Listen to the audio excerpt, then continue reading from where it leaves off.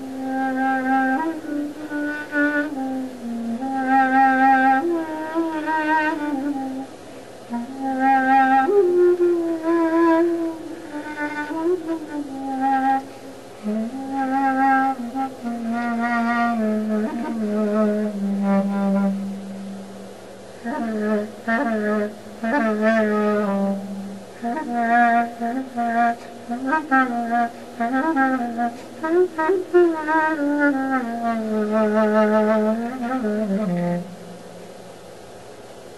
Osama, I'm just going to play for you here. And I don't know if I'm capturing the whole instrument. I hope I'm not capturing my face or anything like that but the...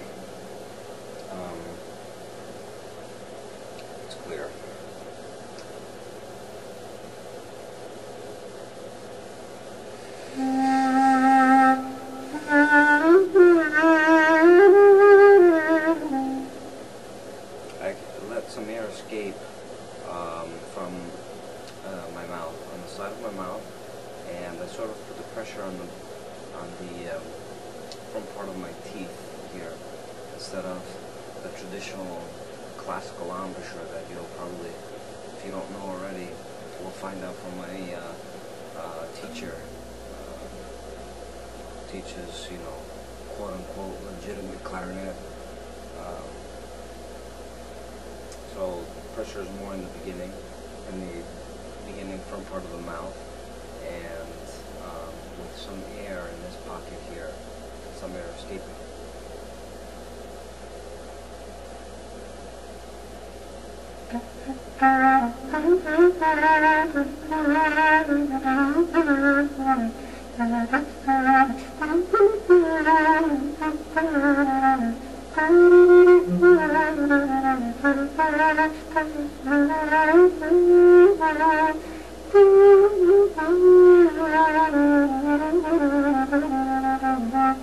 It's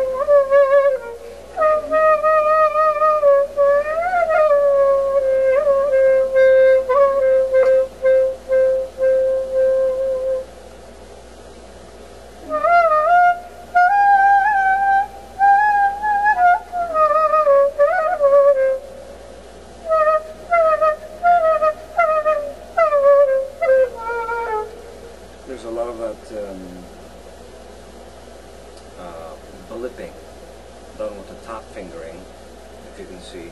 It's basically done by a combination of different openings uh, while you have fingers underneath them. Okay, so it's like more like a, like a little sigh or crying sound.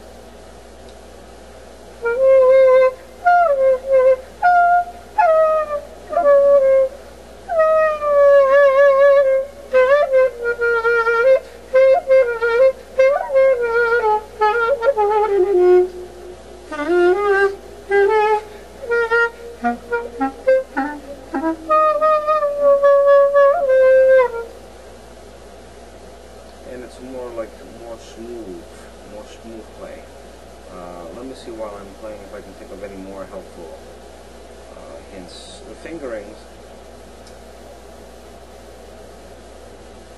Hmm.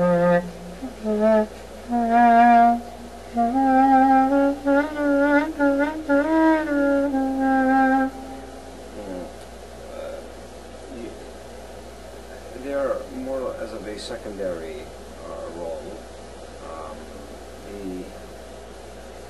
you do in your mouth, the mouthpiece, is probably for me the uh, most important thing. And then in certain situations, like I just played, uh, the fingering also is required with a slight hint of opening and closing the hole for different shadings.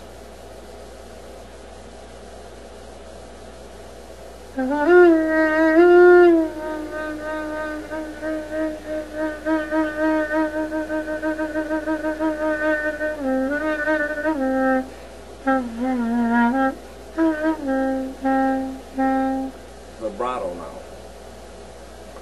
Different than the Turkish vibrato, which is more subtle. In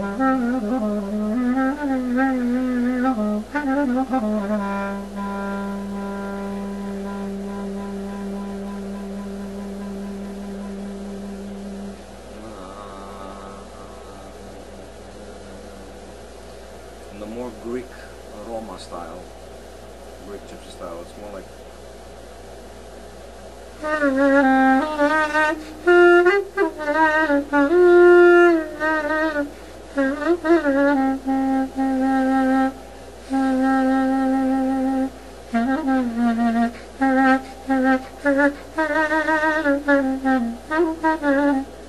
it's faster vibrato, okay? And the vibrato is done by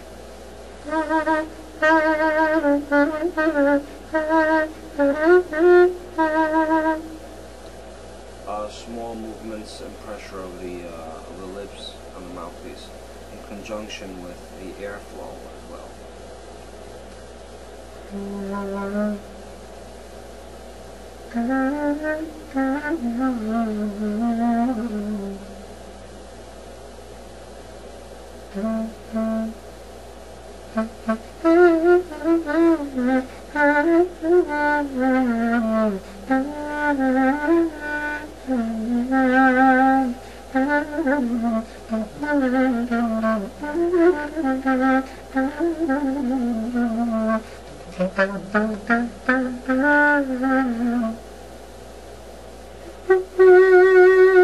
Mm-hmm.